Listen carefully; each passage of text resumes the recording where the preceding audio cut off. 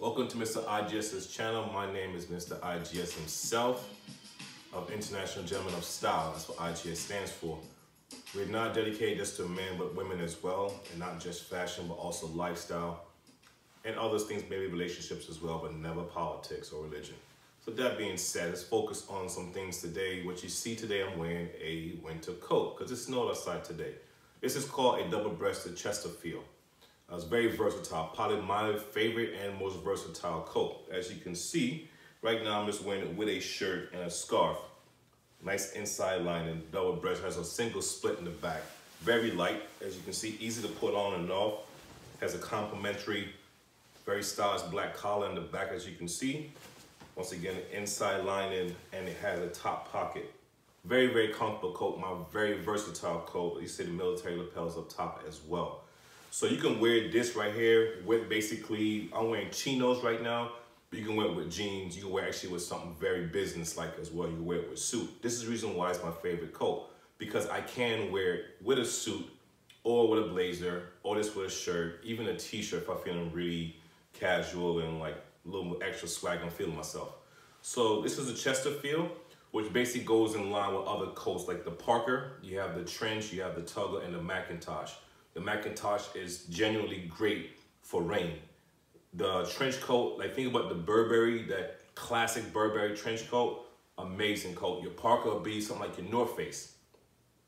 Very good, very stylish for the, um, we'll say summer, but ready for the winter time itself. Very good, has a hood with the fur. You have a good one. Um, your Tugger is the one with the little wood. You hook over and you, the little small rope and it hooks over. You know, you seen grandma wear it, your uncle wear it. But those are certain coats like that. But it's other coats that I haven't mentioned is the very famous peacoat made famous by the Navy.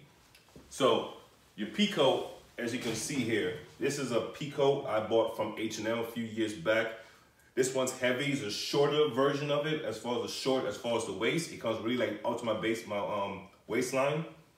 It's a single cut in the back, high pockets, as you can see here. It's a little bit heavy, so if you're starting off getting a coat and you don't know what to do and you're on the business world or even the business casual world and you want a nice coat to look separate yourself from your bomber coats and things like that, your peacoat is the first version I would highly recommend. The one I just showed you a second ago with Chesterfield, that's next level, okay? As you can see, like I said before, double-breasted, comes down, it covers right over the butt. You call it the butt link, all right?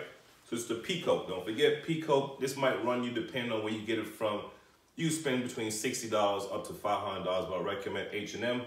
Great brand, good quality, should last you a while. Cost me about $115, but nonetheless, forget the price itself. Be more concerned about the quality of the item. Let's forget about prices and name tags.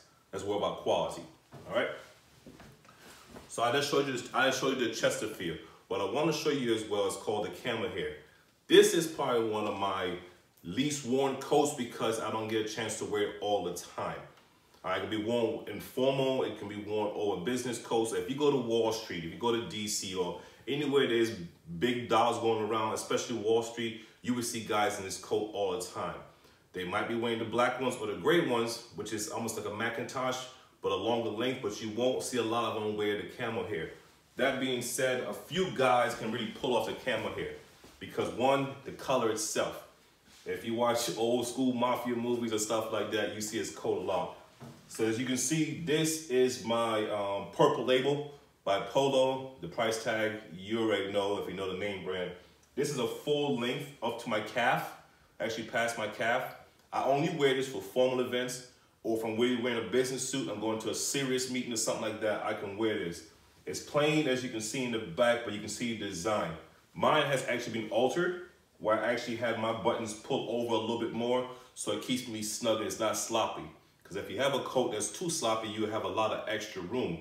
You want room to put a coat or blazer under it, but you don't want too much room that it look like you borrowed a coat from your daddy.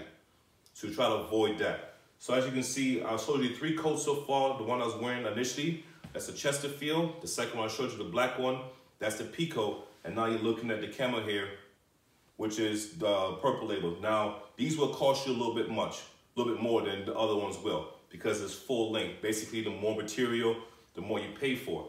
But once again, this can be worn with a suit or a blazer. I highly recommend you don't wear it without the two because it looks sloppy. The Chesterfield and the Peacoat, you can't. All right? So keep in mind, you want to advance your, your brand, your brand. You want to advance yourself as far as like your style. Basically, find yourself going from your bomber coats and your North Face coats to something more casual that you can be versatile with wearing it. The Chesterfield, I highly recommend. It's a great coat to have. You can wear it with a scarf, without a scarf. All right, that being said, I know we kind of sped through some things. Um, keep in mind, each one, some might have a double breast versus single breast. The choice is yours. All right, the choice is yours. But also remember, remember I said, but the Macintosh is being rainproof. It is not waterproof. No coat that I showed you today is waterproof, but it will hold up to the snow. I highly recommend as far as care, you take it to the cleaners once every month or once every two months. Do not put in the washer and dryer. Actually, when you wear it, just let it hang out. If you find, if you're type of person that perspires a lot and you're sweaty, one, I recommend 40 hour degree deodorant. My girl recommended for me. I don't stink, but nonetheless. But still, I recommend degree, good deodorant, start there. And if you are um, perspiring a lot, hang the coat up, let it air dry, maybe a little bit of Febreze. It'll do a good job for you. All right. Um, that being said, please like, subscribe, tell a friend to tell a friend to tell their mama who will tell her friends. All right. Until next time, I appreciate you stopping by. And my name is Mr. IGS. Looking forward to seeing you again. Thank you very much.